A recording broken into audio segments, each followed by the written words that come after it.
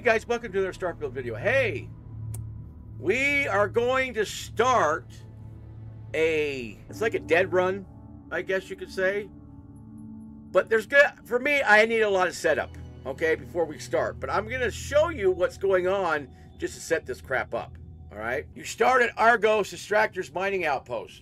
Then your dispatch take out the pirates, okay?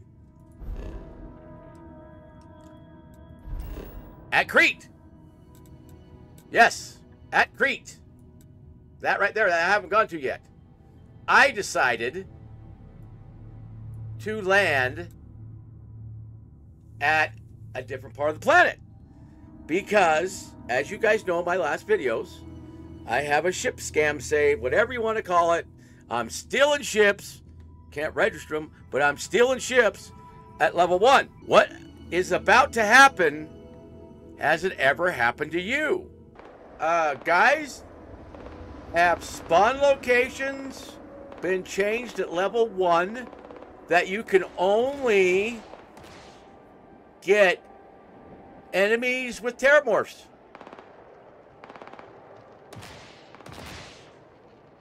And Vasco taking care of business over there. That's a Terrormorph. That's a... All right, let's go steal his weapons. Stay away from the Terrormorph. Let's go steal his weapons. There's spacers. Ecliptic. How did Ecliptic... I'm out. Yeah. Still level one. Running into a Terrormorph at level one. Hey, uh, yeah, I got something for Deanpo. Go to this world. Take out the Terrormorph in level one. Yeah. You want a challenge? There's your challenge. Anyways, if you haven't subscribed, please subscribe.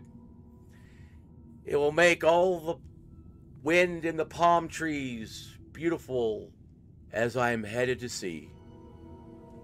Guys, seriously, thank you all very much for all you subscribers, and I will see you in a couple weeks. This will be a special video, uh, but I'll see you in a couple weeks, and have a great day. All right, bye-bye now.